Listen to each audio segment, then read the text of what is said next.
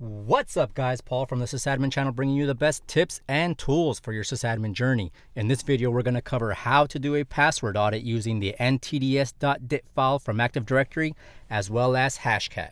So before getting started, I wanted to throw out a legal disclaimer and let you guys know that you should get written approval before doing any kind of pen testing or any kind of password audits. And uh, you always just want to cover your butt just in case. So with that being said, let's get started. So behind the scenes, I've already done a backup of my domain controller using the free version of Veeam. Um, you can do this other ways using like, for example, the VSS shadow copies. Uh, but for me, I prefer to use Veeam because it's, it's cleaner and we're not leaving a whole bunch of shadow copies everywhere on the domain controller. So as you can see here, I've already started the restore process and pointed to my domain controller for the backup file. And if we just click restore, we're gonna wanna restore guest files from Microsoft Windows. Uh, this is this allows us to just grab the ntds.dit file as well as the system file that we need to export the the hashes. So once that finishes loading, we'll go ahead and select next here to select the day that we want. If you want to enter in a reason, go ahead and do that now. Otherwise, click next. And then finally, go ahead and click on the finish button to get the, the process started. So here, we're just going to wait for the, the screen to pop up. And what I like to do is click on the open in Explorer that way it gives us the Windows Explorer view. And then I'm also going to open up a new Explorer instance. That way we can point to our uh, ntds.dit or ntds folder within our desktop. So now that I got those two folders open, we're going to go ahead and do a split view. And on the right side here, we're going to go ahead and click on the Windows folder. And then from there, we're going to click on the NTDS folder. Uh, go ahead and click continue to make sure that you have access to that folder. And then here we're just going to right click the ntds.dit file and then copy it to our ntds folder within our desktop. Once that completes, we'll go ahead and back out, out of back to this Windows folder. And then from there, we're going to click on the System32 folder. So we'll go ahead and scroll down just a little bit. And then from there, we're going to want to click on the config folder. And once we're in the config folder, we're going to right click the system file, copy, and then paste it to our NTDS folder within our desktop as well. So once we got those two files in the NTDS folder, we're pretty much done with the backup process. So now let's make a road trip to our Windows machine. And on this machine, I have a pretty beefy graphics card as well as Kali Linux installed. So let's go ahead and open up Kali Linux. And then here we're want to export all the hashes using a Python script. So the first thing we're want to do is create a directory on our desktop. And we'll go ahead and type in make dir root desktop ntds. That'll allow us to create the directory. And then we're going to want to locate the secretsdump.py file. And the one that I like to use is the one that has the examples in it. So um, we'll go ahead and copy that full path. And then we'll right click and copy.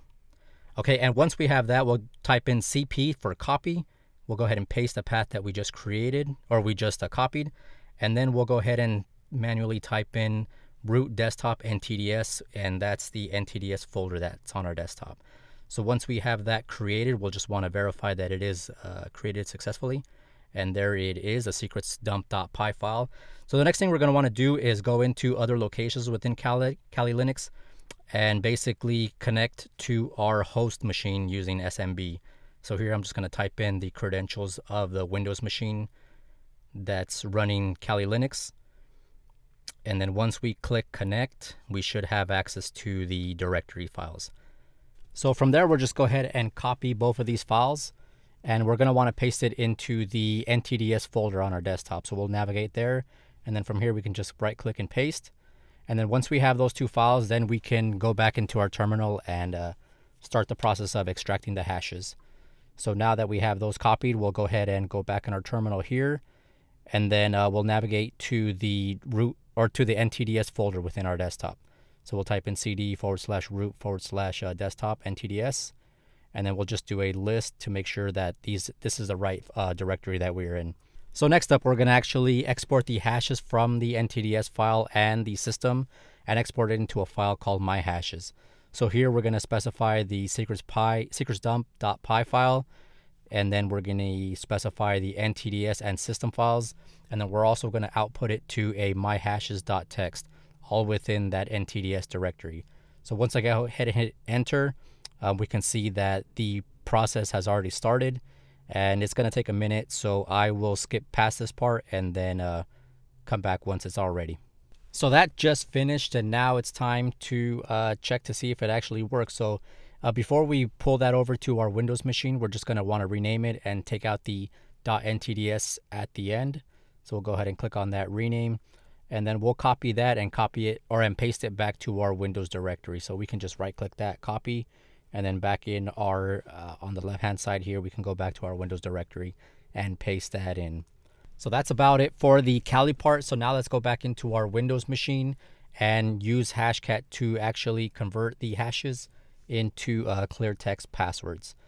So the next thing on our list is going to be to get Hashcat on our system. So we'll go ahead and open up our Chrome browser, Google Hashcat, and the first result should be the Hashcat uh, website. So if you don't have it already, you go ahead and download the binaries that are needed. I actually have it on my machine already and I've already placed it in the root of the C drive. I've also prepared for us a quick guide that we can use, so I'll go ahead and bring that up now. Um, I've had the most success with the RockU word list combined with the dive.rule. Uh, so if you're just getting started, that'd probably be the best one to try out. Um, if you also wanted to go the brute force option, I have an example for that as well. But in this demo, we're going to go with the word list and rule option. So I'm going to copy this string here and then head on over to, to our PowerShell session. Uh, just a quick note that I am in the Hashcat directory.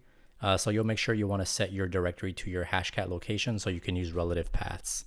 All right, so let's go ahead and paste in our string that we copied earlier and start auditing some weak passwords. Uh, I should mention once again that you should always get permission from some kind of authority uh, whenever you're doing any kind of pen testing on networks that are not yours. All right. So like I mentioned earlier, I'm using the RockU word list with the dive rule to see if any users on our domain have some easily crackable passwords.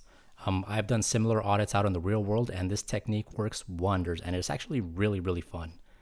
So without further ado, let's go ahead and press enter and finally get this bad boy running. Uh, so you can see that after you press enter here, you're going to see this kind of output um, you can see what file you're using and how many passwords your list has. Uh, in my case, the RockU list has some uh, 14 million passwords that it's going to iterate through. Uh, there are also some keyboard shortcuts on the bottom. So if you type S, it will display another status. If you type um, P, it'll pause, Q for quit, and so on and so forth. But the thing you really want to pay attention to here is the recovery, the speed, and the candidates. Uh, the recovery will tell you how many passwords you've cracked so far from your hashes.txt file. Um, right now, I've been only able to crack uh, one so far.